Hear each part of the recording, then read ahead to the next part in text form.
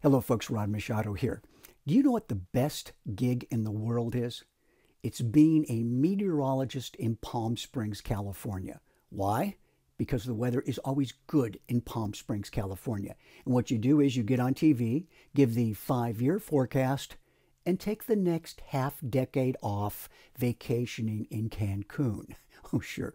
It does get a little warm out there in August. In fact, uh, in August, birds have been known to fall from the sky fully cooked. Well, the fact is that meteorology is an interesting subject. It's a fascinating subject. And what makes it so interesting to me is that you can understand almost any aspect of meteorology if you know a few very simple principles. For instance, I'm going to show you a segment on the low level jet stream. Now this is something that is uh, well it's a mystery to some pilots and it's just it just seems impenetrable.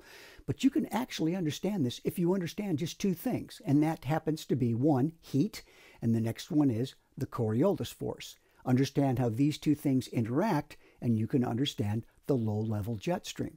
This is an excerpt from my 5.5 hour interactive animated e learning course on understanding weather. If you're interested in this course, visit rodmachado.com or becomeapilot.com. So here's a segment on the low level jet stream. I hope you enjoy it.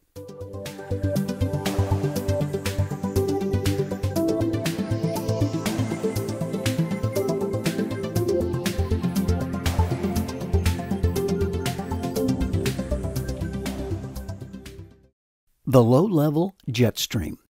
Certainly, you've heard of the jet stream, which is not a silvery jet aircraft built to look like a hostess Twinkie. That's an airstream, which is for camping out.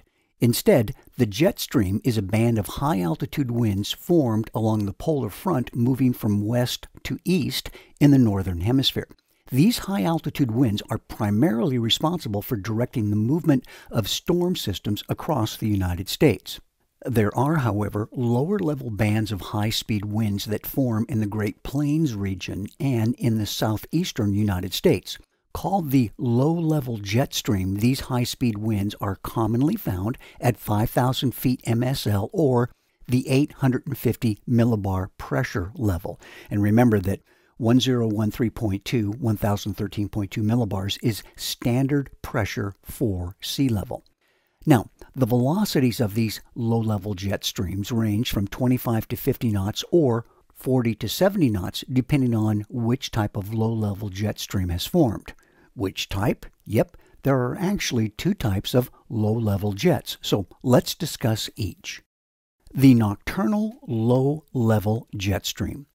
As you probably know by now, all wind is a result of a pressure differential, otherwise known as a pressure gradient force. Now, this pressure differential results in winds flowing from a high pressure area to a low pressure area. This, coupled with the effects of the Coriolis force, are the two factors primarily responsible for the low level jet stream. So here's how it works. First, you need a large pressure differential, which is commonly found in the evening and early morning hours in the Great Plains. With large mountains to the west, think the Rockies, and lowering terrain to the east, you create a perfect opportunity for pressure differentials to exist. Now, this figure shows a geographic profile of this area during the day with the 850 millibar or 5,000 foot pressure level resting parallel to the horizon. Anywhere along this line represents 5,000 feet above sea level. Remember, the terrain to the west slopes upward, which is why Denver, Colorado is called the Mile High City.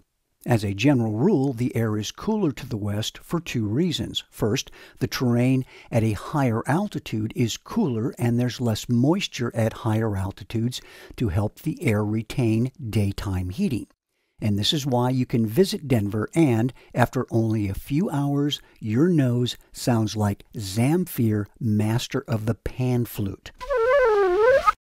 On the other hand, the area around the Great Plains is geographically lower and more humid, resulting in a deeper layer of warmer air due to daytime surface heating. Said another way, the area around the western plains can heat up and cool down quicker compared to the area around the eastern plains, which takes longer to heat up but also takes longer to cool down. As the sun sets, the terrain in the western plains cools relatively quickly while the terrain to the east radiates its surface heat away more slowly.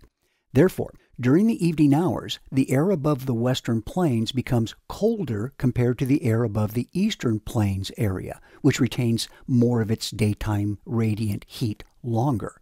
Now, let's establish a line from right to left representing the 850 millibar or 5,000 foot MSL level with point A over the eastern plains, the right side of the diagram, while point B is over the western plains, the left side of the diagram. Anywhere along the line from point A to point B, the outside pressure is 850 millibars. Flying at this precise pressure level results in your airplane's altimeter reading 5,000 feet MSL. From your study of altimetry, you know that the differences in air temperature over a large area results in a gradual sloping or tilting of pressure levels.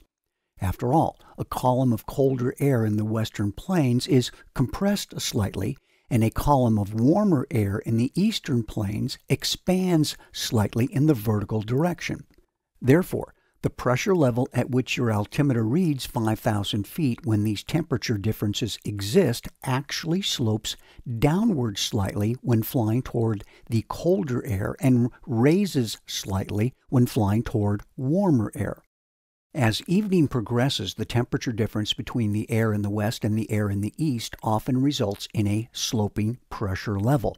Now, this might result in a sufficient pressure differential to cause air to flow from east to west. How so? Well, if we move horizontally from right to left, we see that point A is below the sloped 850 millibar pressure level, while point B is above this pressure level. Now, think about what that means. It means that the pressure at point A might be 875 millibars, which is higher than 850 millibars, while the pressure at point B might be 811 millibars, which is certainly lower than 850 millibars.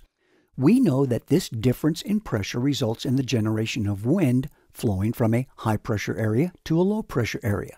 Therefore, air moves from point A to point B, which results in the horizontal airflow shown here. This creates an easterly wind blowing westward. Remember, we always speak of wind blowing from some place or from the east in this instance.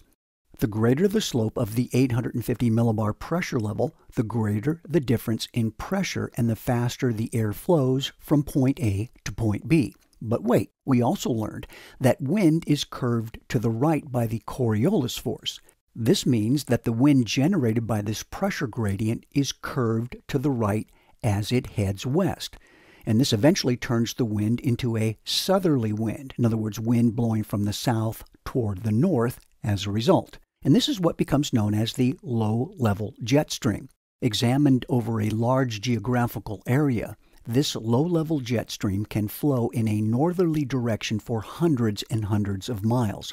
This ribbon of fast moving air is strongest in the early morning hours. Now, why the early morning hours? Well, the air above the western plains has cooled down quickly during the evening, while the air over the eastern plains still retains a lot of the heat acquired during the previous day.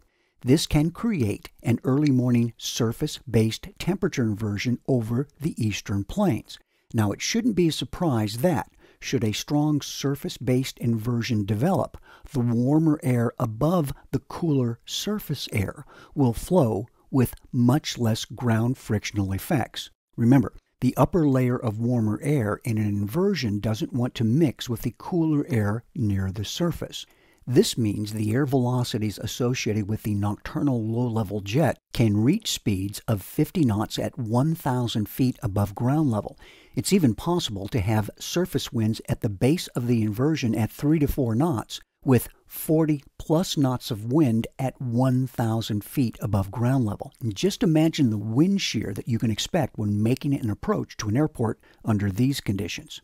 Because surface based inversions tend to break up as the day progresses, The low level jet stream also tends to dissipate during daytime hours. Additionally, the west to east temperature gradient tends to reverse itself during the daytime hours, thereby removing the primary cause of the pressure differential that generated the low level jet stream in the first place.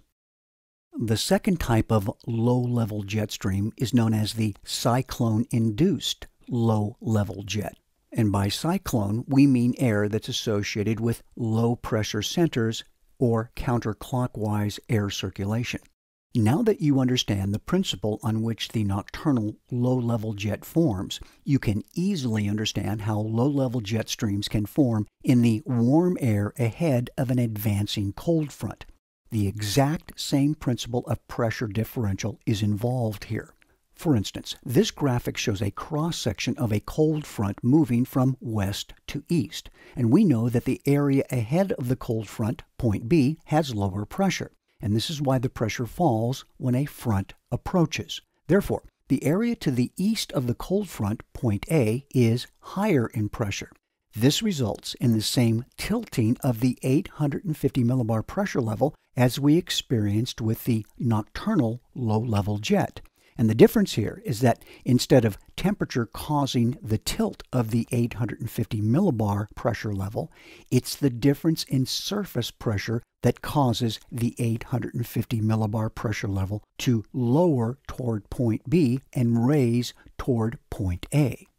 The result is the development of a cyclone induced low level jet stream that flows parallel to and moves with the cold front. If the tilting 850 millibar pressure level is affected by both the high and low pressure centers associated with the front and exacerbated by any west east air temperature differential as previously described, then the speed of this low level ribbon of air can reach speeds of 70 knots at the 850 millibar or 5,000 foot MSL level. And depending on the terrain, that could mean that you have winds at 70 knots, 1,000 feet above the ground.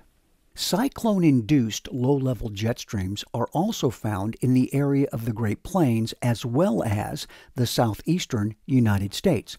What makes these cyclone induced low level jets so interesting is that they typically bring warmer, moisture air from the Gulf of Mexico inland, often feeding the storm system with which they are associated. This cyclone induced low level jet acts as a conveyor belt of moisture from the Gulf of Mexico. And this moisture increases the instability of the air being lifted by the cold front. If you have ever wondered why the area around the panhandle of Texas and Oklahoma is called Tornado Alley, now you know why.